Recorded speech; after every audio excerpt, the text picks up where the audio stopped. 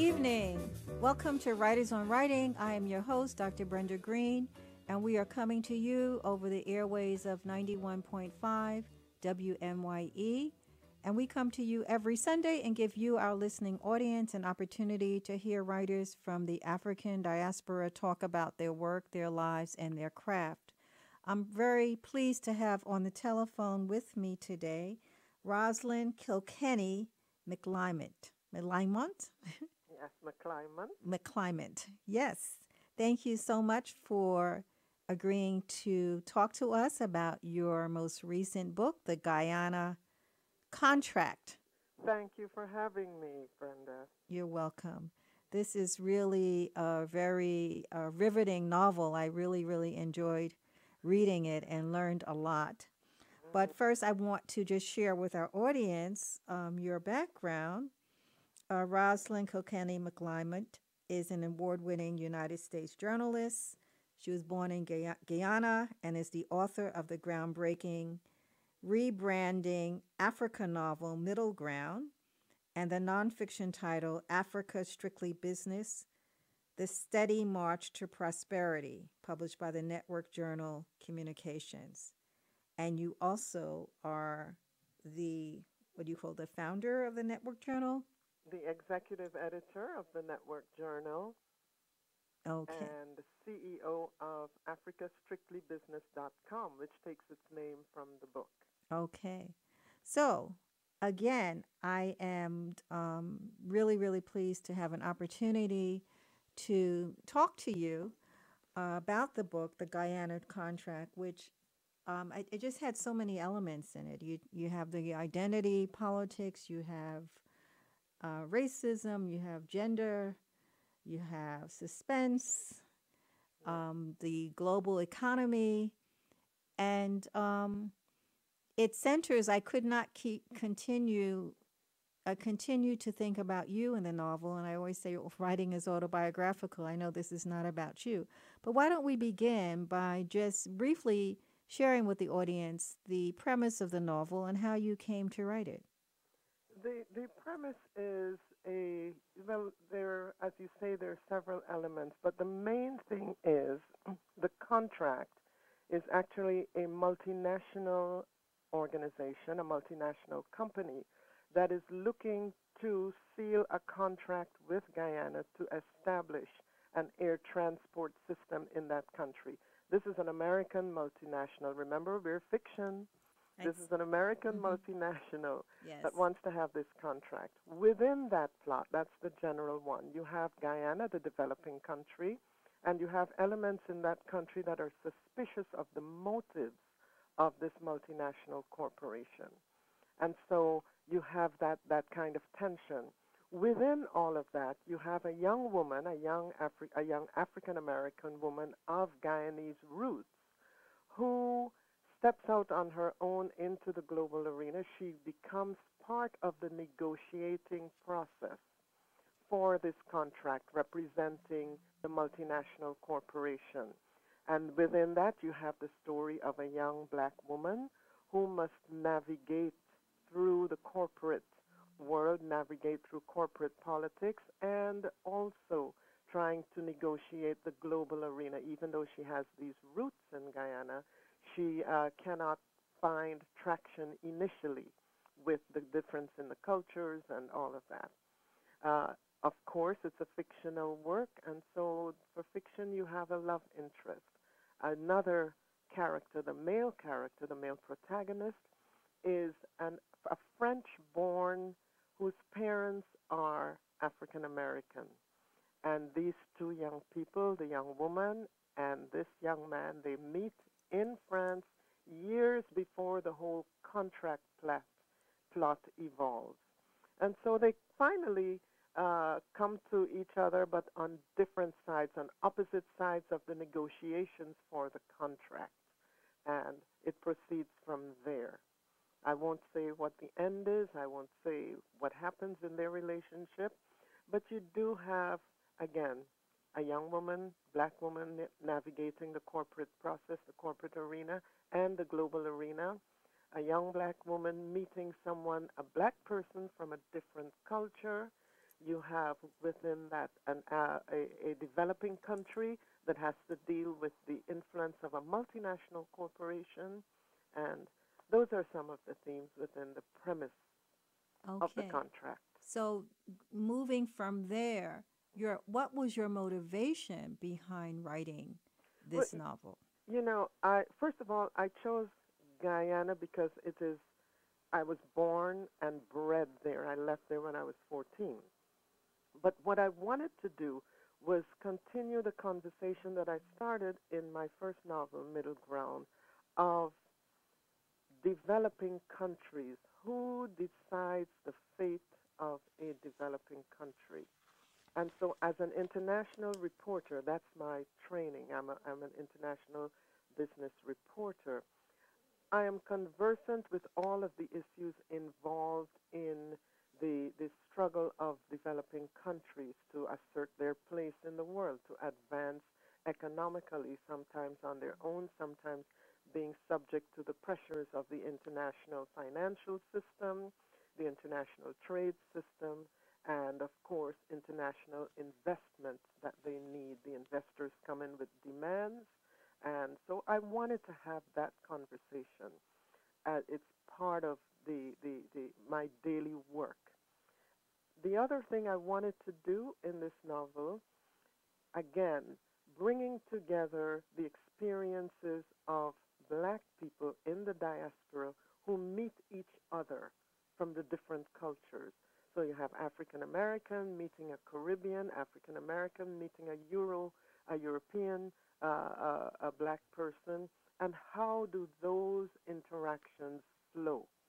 What are the tensions or what are the similarities? What happens when you have that?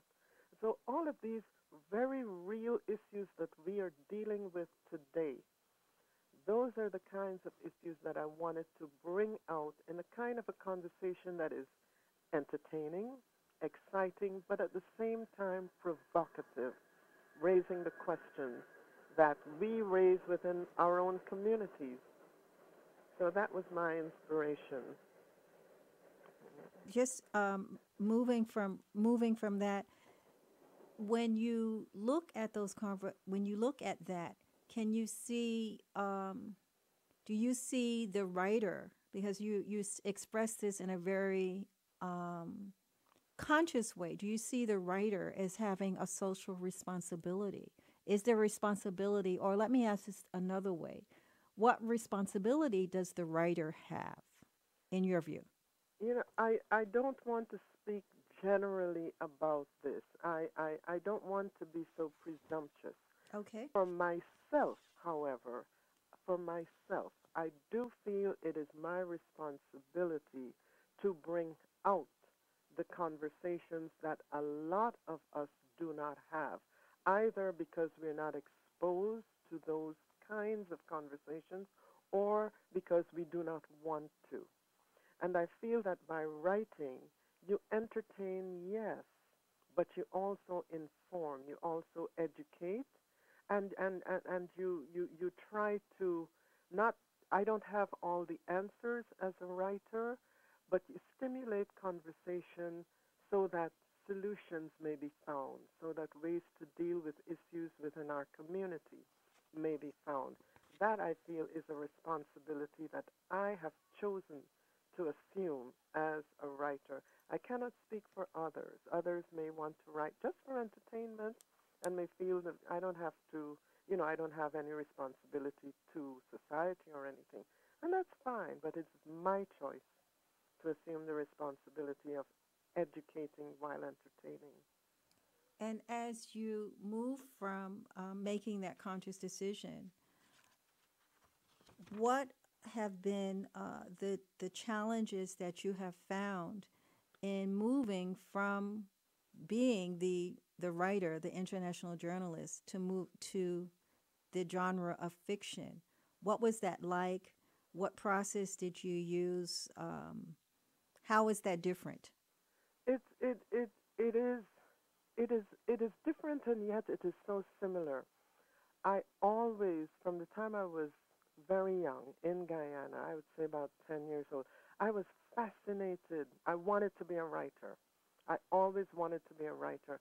I loved to read. I read a lot of fiction uh, and, and a lot of history also. I loved my history teachers, especially one. There was one in particular who just made the old, the, the, the history lessons come alive. I was fascinated. My imagination just, just ran wild. So I always wanted to be a writer. Now, I deliberately chose to go into journalism because I thought that journalism would scientifically improve my, my, my, my, my craft or my calling. I did not want to study English. I did not want to go into English because I thought that uh, I really thought I did not need anything from being an English major. I thought journalism would take me into a global arena, for example, and that it would always also teach me to write for a lay audience. The writing I do, I want anyone in the street to be able to read it, any ordinary person, and understand what I'm talking about, even though they are not in the in the universe of, say, the the World Trade Organization or the International Monetary Fund and all the inner comings and goings and complexities of that world. But I want them to be able to read and understand the context of that world easily. And so I thought journalism would give me that, would give me that ability to craft a story that has no holes, that answers the questions, that paints the picture in a way that anybody can understand. When I was studying journalism, it said we're writing for an eighth grade audience. We're writing for an eighth grade audience. And so imagine someone also, they would ask, they would tell us, imagine someone just landed from Mars. They have no idea what this world is about, but your story must give them the picture and the understanding of what this world is about. And that's why I went from journalism and making that transition because it's not really a transition, it is just a way of exercising the passion for fiction that was already in me, a way of making that fiction come alive and, and in, in, in a better way and, and an easier way for the reader. Okay, so two questions. Who are the people who you read? Who are the fiction writers who inspired you? And secondly, what has it been like to write in fiction? Okay, in terms of inspiration, I read, you know, I read fiction. I read people like Maeve Binchy, who is an Irish writer who was passed recently passed away. Robert Ludlum. I I I I, I love uh, Terry McMillan's work. I love there, there, there's so much. I love the kind of work that takes me, the kind of fiction I read that takes me into another culture, that teaches me about the world. Even though it is fiction, I get to see how people live on the other side of, of, of the world. I go into cultures. And so a lot of the writers, even from when I was in high school in Guyana, when we studied Dickens, and you study, you know, and David Copperfield and all of those those those old world kinds of things. You get to see how the human being accepts and acknowledges and works within his particular or her particular condition through fiction. So sometimes I would just pick up a book because of the title. The title draws me. A work of fiction draws me, and I might not even remember the name of the writer, but I'm steeped in the in in in, in the artwork of this particular writer. And so that's one. And and the other the other question was it difficult? Is it difficult to to to write fiction? Oh my goodness. You get so absorbed in some of your characters. It's it's not that it's difficult because this is something that I love doing. But when you have to shape those characters, you have to go into the head of the characters. Sometimes they take you over did the, is know? is that what happened? That this this is this is what happens when when when I'm right. Let's say I'm talking about the the female protagonist Drusilla Durain in the Guyana contract. You have to remove all the other characters and their influences and get into the head of this particular character of Drusilla Durain.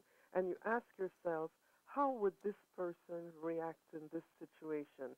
How would her facial expressions be? How would her facial expression be in this particular situation?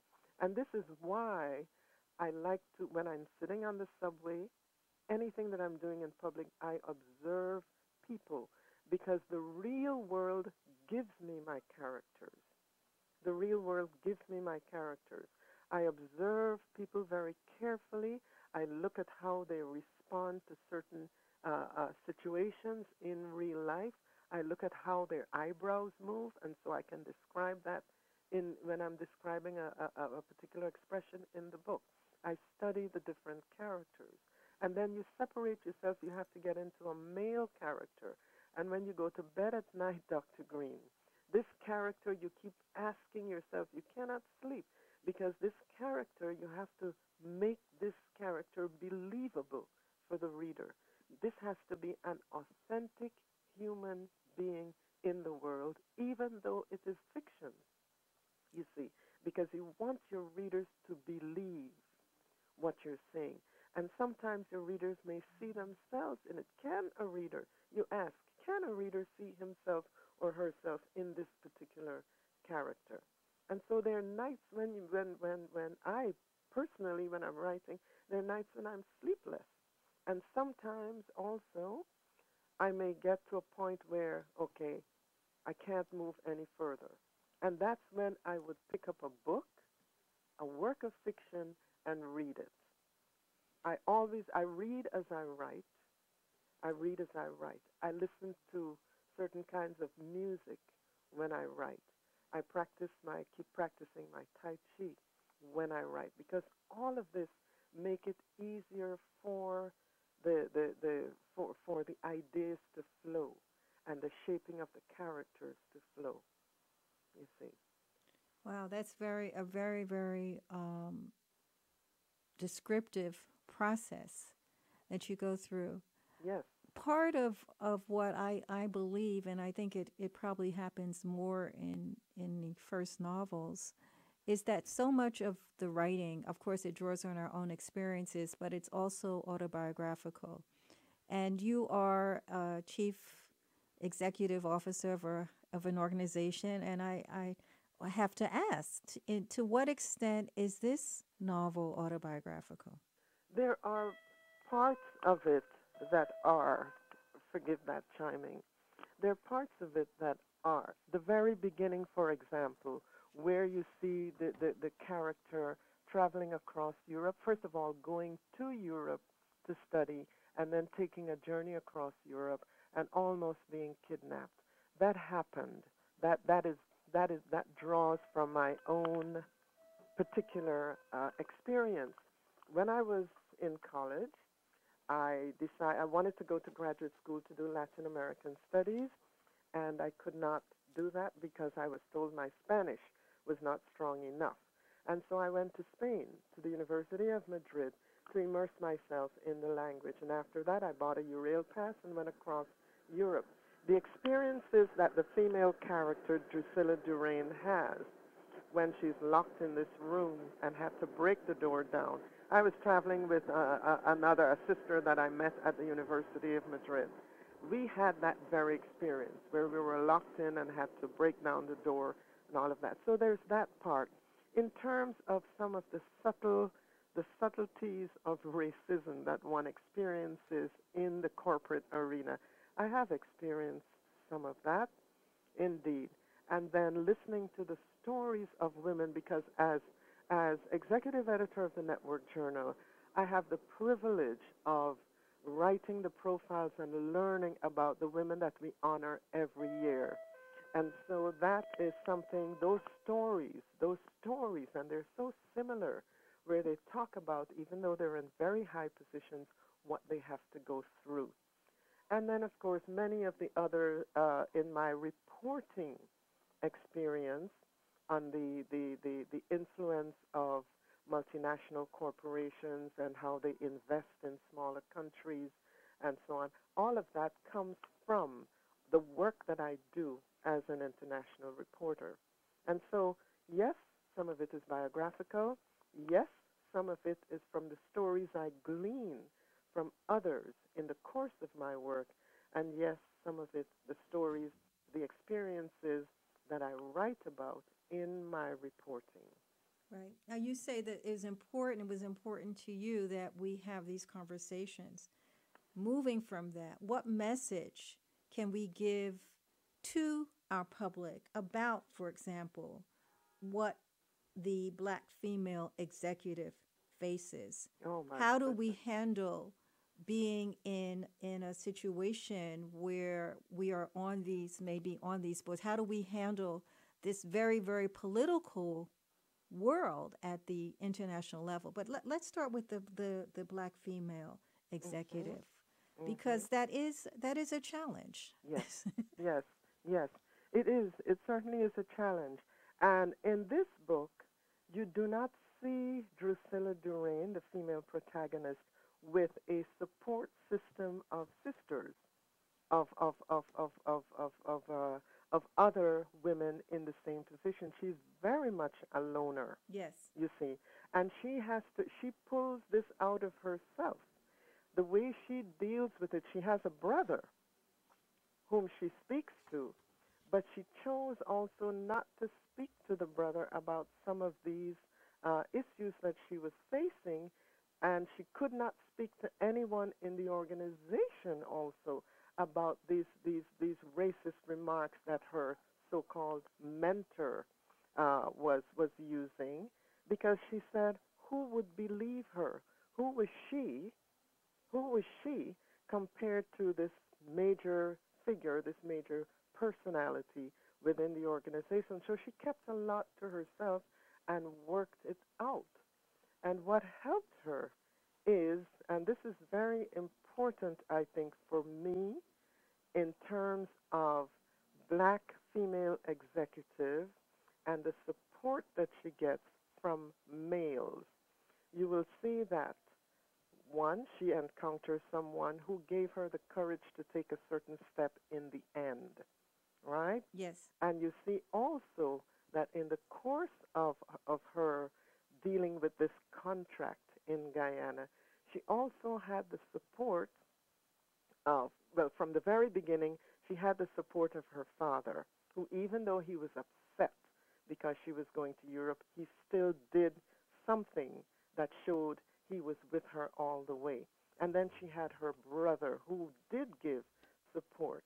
And then she there was there there, there was the uh, the the character in Guyana who recognized her as a me- an ex- a member of the ex- his extended family and who in his own way gave her support.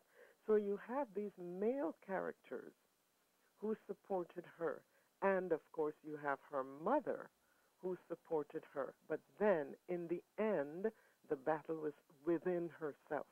She is the one that had to make the decisions, that had to deal with the issues in within herself, first of all, and then expressing her inner decisions, expressing them in action. So the whole the, the, the, the female executive, the female, the black female executive has a lot of internal struggle in spite of the support that you get. Yes, that helps. Male, female, yes, that helps. But in the final analysis, it is always you. You are the determinant of your fate and of your future. I strongly believe that. And you have the power in you to make the decisions to set yourself to, to go forward, I believe. How do you gather that? How do you do that in an environment that's hostile? I mean, your character does that. Um, she pulls on other people. But what Mhm. message do you have to others? Because this is is in the executive. This is in the business world. This is in higher education. This is Mhm, in private mhm. industry. This is all over. This is something that women Yes. face. Mm-hmm. How do mhm. how do they move beyond that? Again, I, I, I, I really believe in inner strength. I am writing another book called uh, Chocolate for Wall Street. And it deals, this is another fiction, but it deals with women of color who are put in a situation to uh, uh, of, of, of adversity with each other. They're competitors for a particular position, and how do they deal with it? These are three executive women of color and their stories within the corporate arena and you and I talk about where they get their support from. But I maintain, Dr. Greene, I maintain that in the final analysis it is your strength inwardly. And how do you build that strength? I believe having faith, faith in God, whoever or however you define God to be. I believe in that. I believe in faith in yourself as a part of a universe that is really, really kind to you. A universe that you can draw from, you can draw sustenance from if you give it the respect that it deserves. I believe in pulling out of yourself. I believe in sitting and reflecting, not blaming external forces or other people. Whenever you confront a situation, I believe you reflect how could I have dealt with this differently? As we see in the book, in the Guyana contract, when Drusilla realizes that the way she dealt with a particular situation caused the results that she did not want to have. You see. So it you, you ask, how do you do that? I go inward. When I confronted that in a in, in, in a position in, in, in a job that I had as a senior editor uh, prior to the Network Journal, of course, I used what I learned in Tai Chi. I used what I learned from my father, who was a Rosicrucian and a very quiet inward person who taught me how to go inward and how to use strength and the forces and the cap- capabilities that we have that we don't realize we have. And so I I have many friends and acquaintances, but I too am a loner like like Drusilla Durain. I go in. I go in. That is how I do it, and that is how I try to make my characters do it because that is the message that I want to put forward. That we as individuals, we have that internal strength to overcome anything. Yes, we benefit from support and love and the embrace of others. That helps. That helps to strengthen us. But in the final analysis, we have it within us very, very inspirational ending message to our readers. I have been talking with Rosalind Kilkenny McLymont, and she is the author of The Guyana Contract, uh, a very powerful novel that takes us into the world of global politics, the world of Guyana. And the characters um, are people who I am sure some of you can relate to. I thank you for writing this book. Thank you for your leadership in the writing world and for illustrating uh, for to us how we can live the life of the writer, yes. fiction and uh, and journalism. Yes. And congratulations on this book. Thank you very much, Dr. Greene. Thank you for having me on the show, and I hope that uh, that your audience will find some kind of inspiration within all the words that I that I gave today, and that they will read the book. It's available on Amazon.com, of course, digital format as well as hard copy. Okay, thank you. And remember, the writer is always reading, the reader is always writing. Keep reading and writing. Empower yourselves as readers and writers. Go out and purchase the Guyana contract. You've been listening to Dr. Brenda Greene, Executive Director of the Center for Black Literature at Medgar Evers College.